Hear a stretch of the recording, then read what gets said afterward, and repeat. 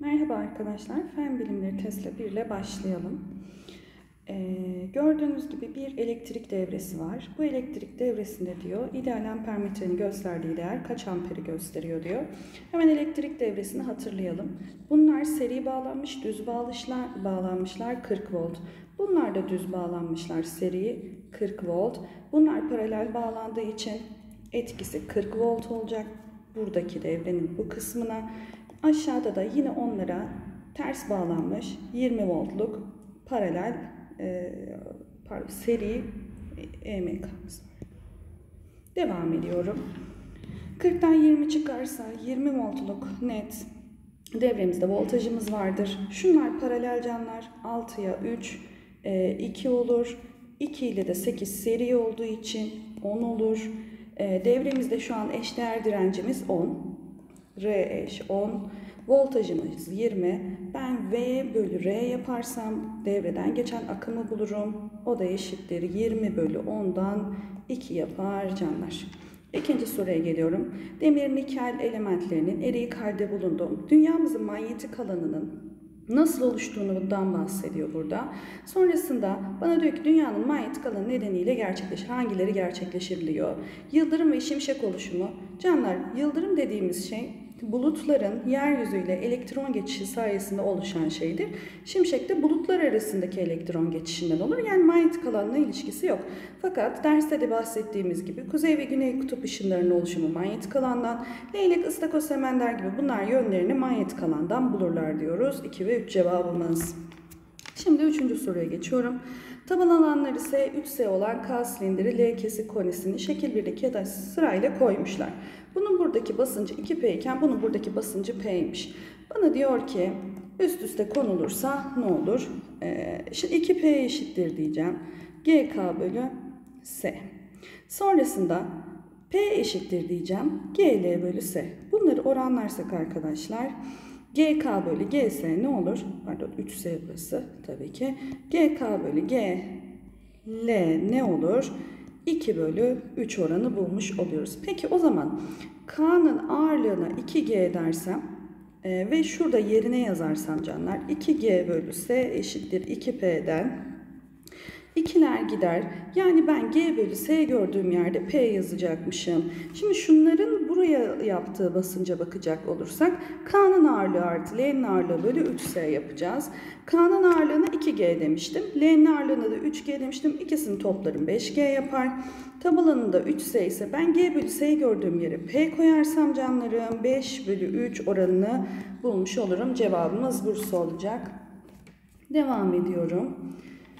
Geldik dördüncü soruya. Dördüncü soruda manometreler koymuş. Şunların uçları açık, bununki kapalı. Şimdi hemen yazalım. Bana bu manometrelerle ilgili hangileri kesinlikle yanlıştır diye sormuş. Haydi yazalım. Px eşittir. P0 yukarıdan bir P0 vuruyor. Buna da yukarıdan bir P0 vuruyor ama bunda P0 yok değil mi? P0 artı H. Buraya bakın. Dengelemişler canlar. P'ye eşittir. P0 olmuş. PZ'ye bakıyorum. PZ'de de sadece H'dan kaynaklı yani HDG'den kaynaklı neyimiz var? Burada neyimiz var? Civa ağırlığımız var. Peki manometreler aynı ortamda olduklarına göre hangileri kesinlikle yanlış olur demiş. X gazının basıncı Y gazının basıncından büyüktür. X'in basıncı Y'den büyüktür. Bir de HDG varmış çünkü X için. O zaman bu doğru oluyor. Bana yanlışı sormuş yalnız. Y gazının basıncı Z gazının basıncından büyüktür. Y P0 ben H ile P0 arasında nasıl bir ilişki yani HDG ile P0 arasında nasıl bir ilişki olduğunu bilmediğim için bunu bilmiyorum canlarım. Z gazının basıncı X gazının basıncına eşittir. Z gazı HDG iken Px P0 artı HDG. O halde bu kesinlikle yanlıştır diyoruz. Cevabımız Ceyhan. Geçiyorum 5. soruya.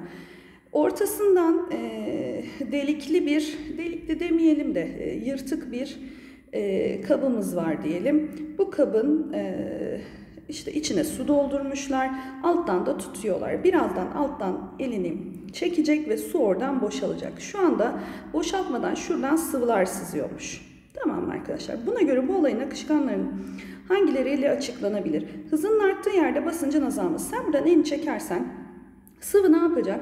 Aşağıya doğru basıncın azaldığı tarafa doğru gitmeye başlayacak. Hızın arttığı yerde basıncın azalması doğru mudur? Doğrudur. Uygundur. Yani buna uygundur bu deneye. Peki hızının kesit alanıyla oranı. Hızın da kesit alanıyla ilgili yani bu boruyu kıstırmış olsaydı kesit alanı ile ilgili bir şey söylerdim ama burada öyle bir şey yok. O yüzden gitti canlar. Yüksek basınçtan alçak basınca doğru kaçması. Yüksek basınçtan alçak basınca doğru da kaçması yine elini çektiğinde alçak basınca doğru kaçması ifadesine uygun olur diyoruz. Cevabımız 1 ve 3 olacak canlar.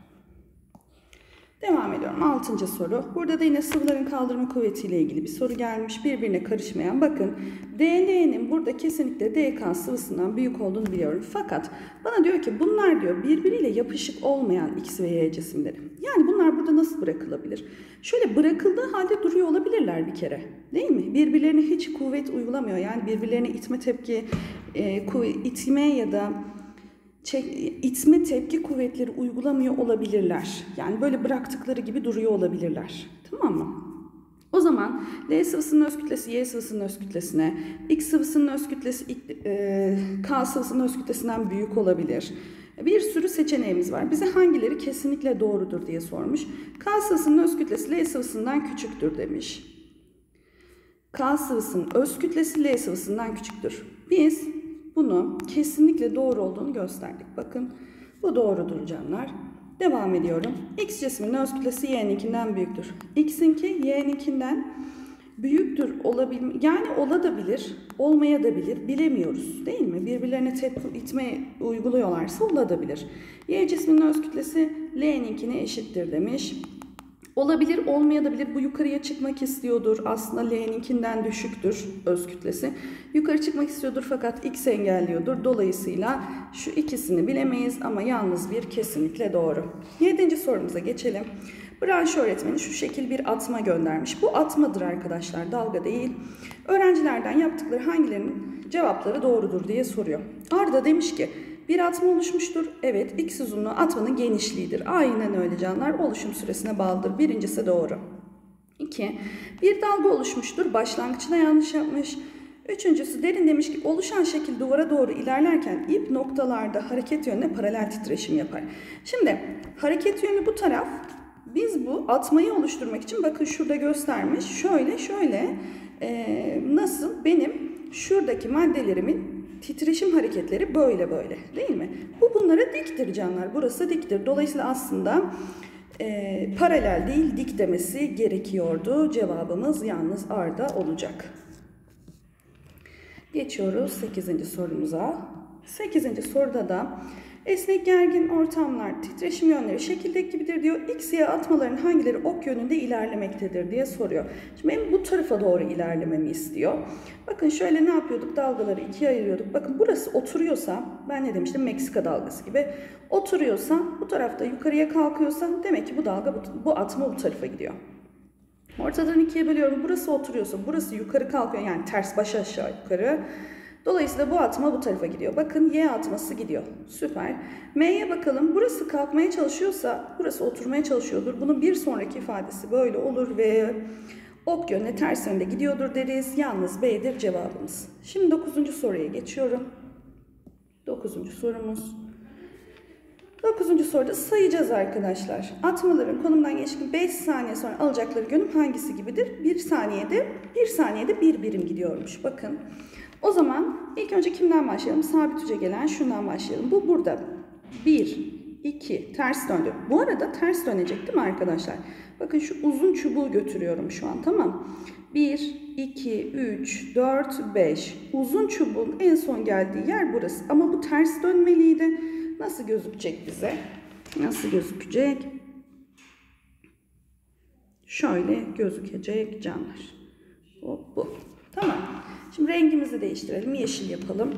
Şimdi kimi gönderiyorum? Serbest ucu gönderiyorum. Serbest uçta, e, serbest uçta geldiği gibi baş aşağı gelmişse baş aşağı geri dönecek. Çünkü burayı kaldırıp indirebiliyor.